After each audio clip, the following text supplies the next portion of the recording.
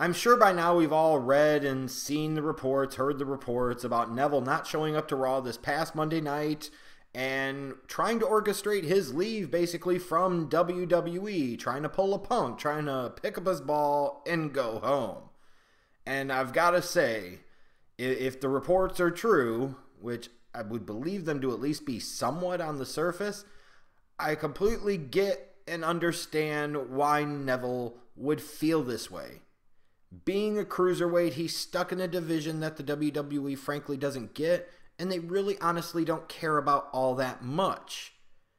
I mean, you could say, well, they've got a WWE network show in 205 Live, but what the hell does that really mean?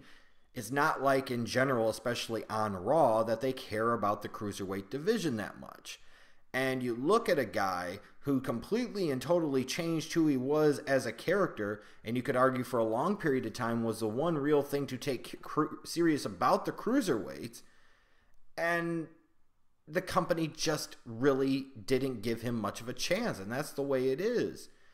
And then when you would get to the pay per views, he was working pre show after pre show after pre show. Then you get to the biggest show of the year, WrestleMania 33, and guess what? Neville is once again left working the pre show. And on top of that, to make matters even worse, not only was he stuck working the pre show at the biggest show of the year, he also got left off of the WrestleMania DVD, which is traditionally WWE's highest selling DVD of the year. So, as you can imagine, what that means absolutely zero royalties for Neville from said DVD sales. I don't know about you, but I'd be pretty pissed off too. Also, when you look at it honestly, he's going to be typecast as a cruiserweight with this company. Now he's in that division it's going to be really hard to see how the WWE would transition him out of it, which for some of these guys in the main scene that could technically actually be cruiserweights, why would they ever want to be? Because not only does the company not get that style, they've never really been about that style. They don't know it. They don't get it. They don't really, frankly, care about it. You're going to get typecast where no matter what, even if your star power indicates you could go a little bit higher up on the card or be something outside of the cruiserweight division, what makes you think you're going to be anything other than stuck in the quagmire of that cruiserweight division as long as you're under your current run with WWE? Then on top of that, you got to deal with Vince McMahon and his ever-changing BS, the WWE creative machine and the debacle that it is. For example, writing up a story where all the cruiserweights lay their hands on Enzo, so none of them storyline-wise can touch him again or get a title shot, which would be up to and including Neville the guy that just got beat for the cruiserweight title. And it was so glaringly obvious you can't just ignore it. So they put themselves into a box, put themselves into a corner. Who would want to deal with that crap? Then to top it all off, speaking of money, speaking of royalties, when you look at a Neville, the last shirt that they put out there, that bland ass looking King of the Cruiserweight shirt, who would buy that crap? You have no freedom to do what you want. You have to deal with the WWE schedule, all that WWE crap. And you're always going to be, if you're a cruiserweight and thought of as a cruiserweight, at a certain level so it caps your upside and it really limits what you could potentially do as a character as a performer and then to top it all off with neville for so long being the one good thing about the cruiserweights now he sits there and looks, and Enzo Amore's getting Raw main events, and he's getting treated like a big deal as a cruiserweight champion when Neville, frankly, never even got the chance, even though he was a good heel as cruiserweight champion. So I completely get it. I'd be pissed off my rocks too, and I'd be dying to get the hell out of there. I just I just advise sometimes just because you're pissed off at the world, just because you've got some legitimate gripes and some legitimate reasons to be mad, sometimes making these type of rash decisions aren't always the best thing. From Neville's standpoint, you're getting off of that national television platform. That's not necessarily best for your branding. Um, you get off of the WWE network, which was another attempt at branding, and in this particular case, another avenue that gets you a national and international audience. So, just from a sheer business standpoint and a branding standpoint and a visibility standpoint, it could be considered a questionable move. Also, when you look at it outside of the immediacy of the stupidity of what the WWE did in terms of the storyline, the whole goal was still to get back to Neville versus Enzo. So Neville could have been main eventing Raws. Yeah, it would have been built around Enzo, but main eventing a show like that is still main eventing a show like that. And for all we talk about Raw and its decreasing ratings and this and that, it is still one of the highest rated cable shows on television.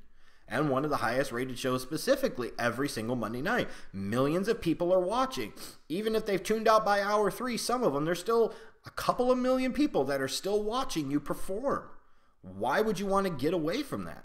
There's also that risk of getting outside of the WWE. There's no guarantee that you're going to make more money or even the same money. You could potentially make less money going it on your own.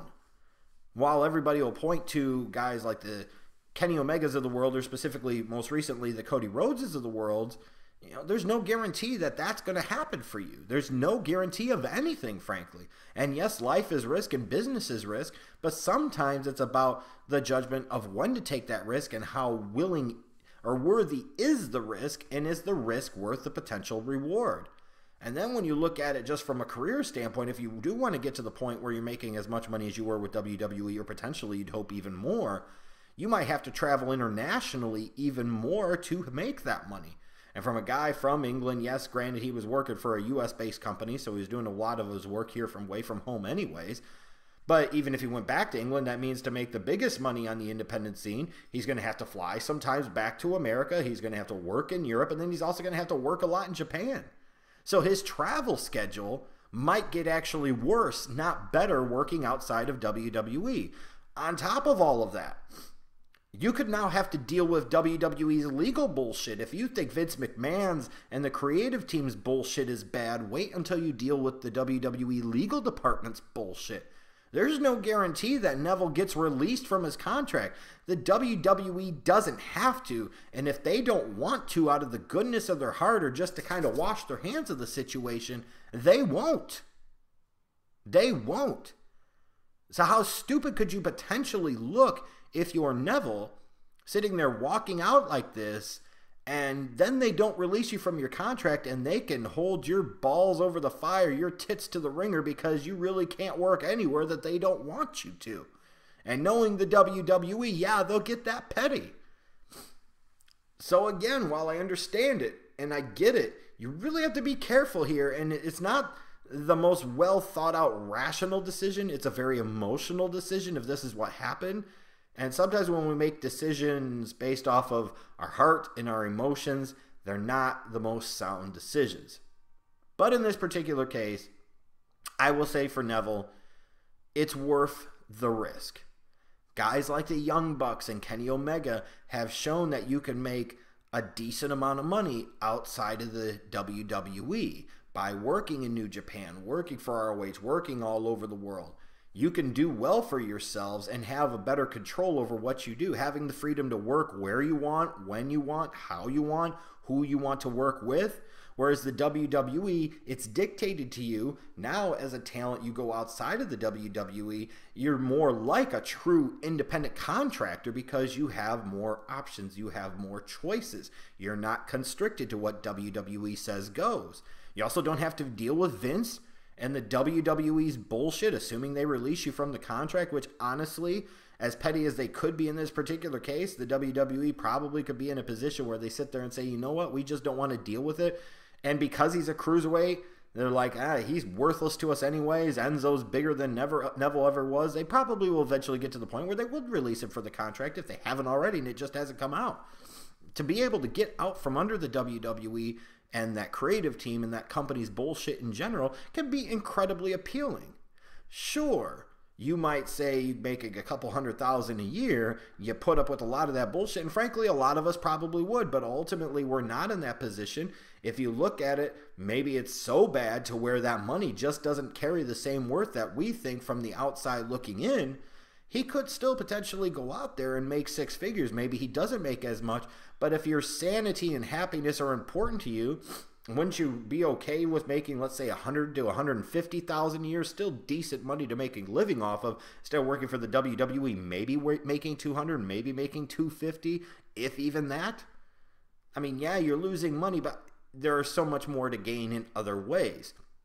Also, Talking about revenue streams, Neville's better able to control and get a larger portion of his royalties and in particular merchandise sales. He can go to Pro Wrestling Tees. They now have their own store and with the distribution network that they have, you know, again, guys like the Bullet Club, the Young Bucks, Kenny Omega, so on and so forth have shown that they can make some decent money off of their own merch sales and not have to be splitting a sizable portion of those proceeds with the big company like the WWE. They're basically splitting it in half with pro wrestling tees. As opposed to with WWE, you're just getting a very small cut per shirt.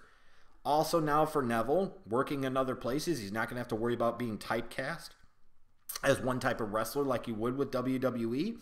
And honestly, there's probably not a ton to lose because, yeah, while some of the top guys in WWE can make seven figures, the vast majority of them do not or do not even come close to sniffing it. They're not even in the $500,000 a year range. And for somebody like Neville, even as cruiserweight champion, the fact that he's working WrestleMania pre shows and he's not being featured on the WrestleMania DVD, how much money do you think the guy was really making?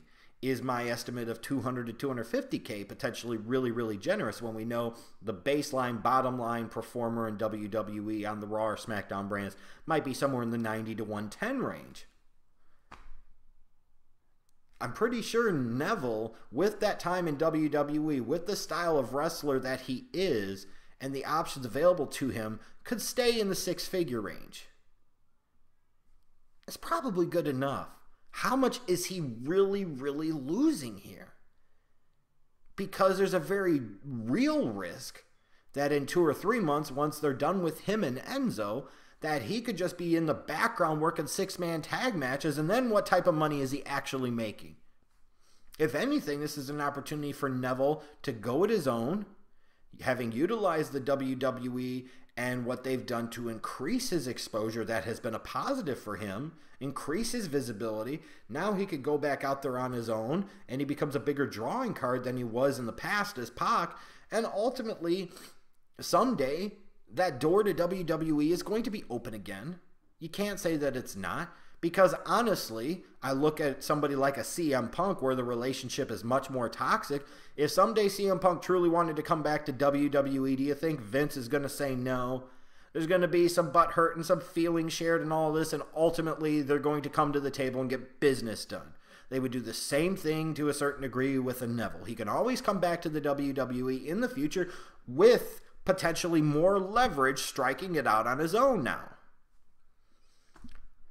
So I look at this and I say, while there's definite risk associated, and I don't think it was the most well thought out decision, if in the case of Neville, unless the WWE really wants to hardball here in terms of not releasing him from his contract, and I just don't know if they're going to be that interested in that, they might put up a little bit of a fight, but eventually might let him go. If you're Neville, there really wasn't that much risk, if you want to be honest, and I can't blame him for wanting to strike out on his own. And I don't think that he's going to be the last guy to do this because it seems to me that more and more the environment is getting ever more toxic within WWE.